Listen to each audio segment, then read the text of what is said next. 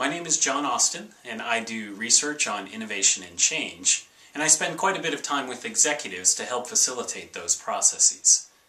So when you think about a new strategy or a new organizational design, it's useful to remember that at its core, that's an innovation or a change process.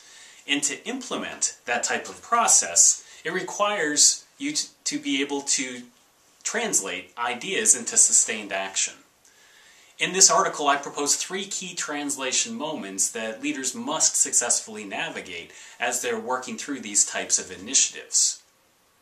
The Ascension Health case, which is very nicely described in this issue by Engler, Jones, and Van de Ven, is a great example of what can happen when as part of this process you are actually quite mindful of these three translations. The first translation is the translation to a new mindset. It's that creation of a new idea.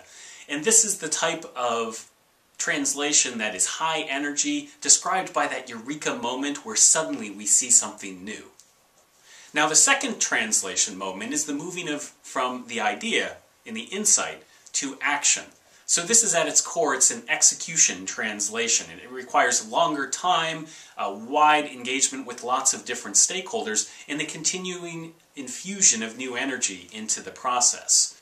Now the third translation moment is, uh, is one that is often ignored, and that's when you take the initiative and you shift it to a new context.